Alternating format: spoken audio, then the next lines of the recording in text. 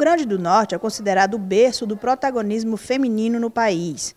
Grandes mulheres fizeram parte da história do Estado e ainda fazem. Para reconhecer e valorizar figuras destacadas da atualidade, a fotógrafa Kalina Veloso idealizou o prêmio Elas por Ela.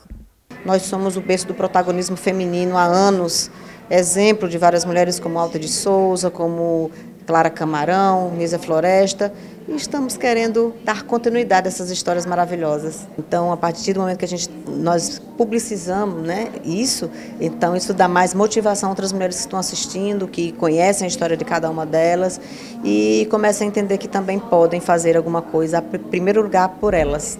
A honraria foi estabelecida por uma comissão de profissionais de comunicação da revista Elas por Ela, que deu origem ao prêmio.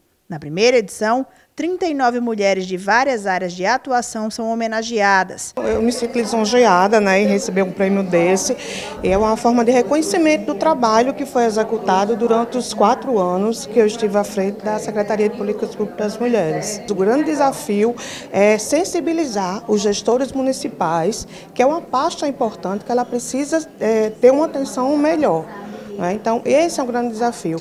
Como mulher, é você se colocar nessa posição de, de, é, de trabalhar para outras mulheres. Nós, quando fazemos o trabalho voltado para a questão da valorização das mulheres, a gente não tem ideia da repercussão que isso tem.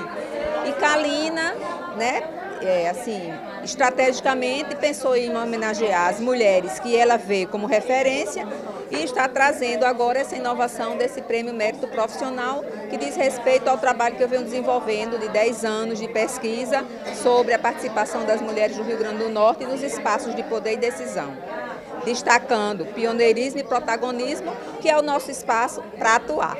Apesar de todas as mudanças e transformações na sociedade, é preciso avançar ainda mais em muitas áreas. Enquanto secretária nacional da pessoa idosa, uma coisa que eu observei é que as mulheres, quando completam 50 anos, elas desaparecem das políticas públicas, aparecem só para fazer a mamografia então, assim, todas as políticas públicas no que se refere à questão da saúde, a geração de emprego e renda, é, incentivo à, à, educação continuada, são para mulheres em idade reprodutiva, ou seja, mulheres de 15 a 49 anos. Quando a mulher completa 50 anos, eu costumo dizer que ela perde até o gênero. Então, como secretária nacional, uma das coisas que nós fizemos no escopo do Ministério de Direitos Humanos foi dar visibilidade a essas mulheres, criando um grupo de trabalho Mulher 50 Mais. Então, hoje, meu maior desafio é dar visibilidade importância a mulher 50 mais. O maior desafio das mulheres é vencer, vencer as barreiras, né? As barreiras é, na parte, na parte do âmbito também, âmbito salarial, de cargos também, ainda é, empresas ainda desacreditam um pouco das mulheres, nas mulheres. É, algumas empresas escolhem, preferem homens mas eu acho que o maior desafio da mulher é esse, é se impor no mercado de trabalho. Além do prêmio, uma edição especial da revista Elas por Ela, Mulheres que Fazem História 2018, que traz os perfis das 39 homenageadas, dentre elas a governadora Fátima Bezerra e a vereadora Carla Dixon.